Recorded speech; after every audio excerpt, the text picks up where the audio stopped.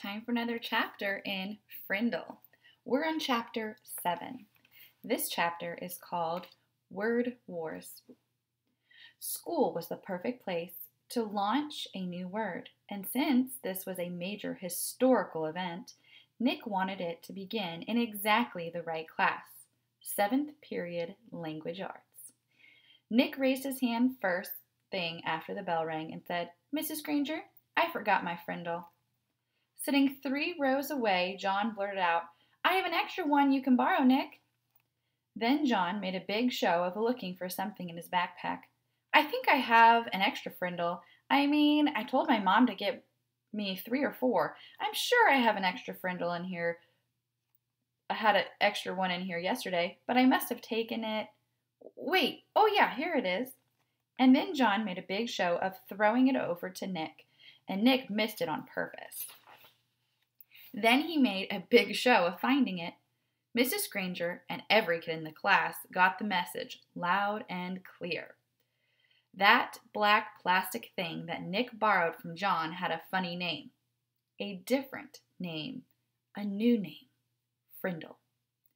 There was a lot of giggling, but Mrs. Granger turned up the power in her eyes and swept the room into silence.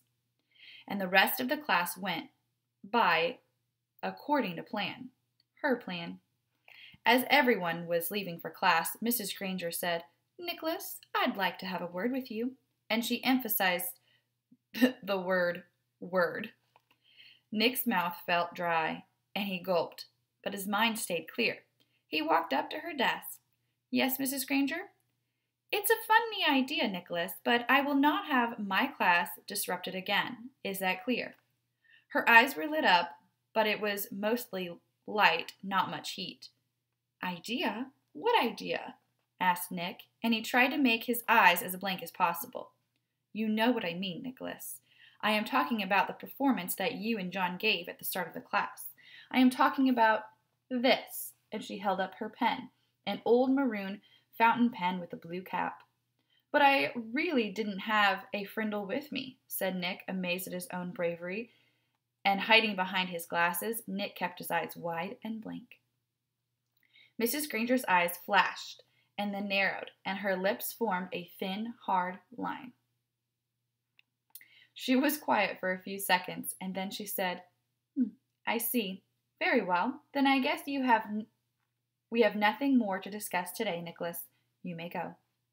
Thanks, Mrs. Granger, said Nick, and he grabbed his backpack and headed for the door. And when he was just stepping into the hallway, he said, And I promise I won't ever forget my frindle again. Bye. and that's the end of that chapter.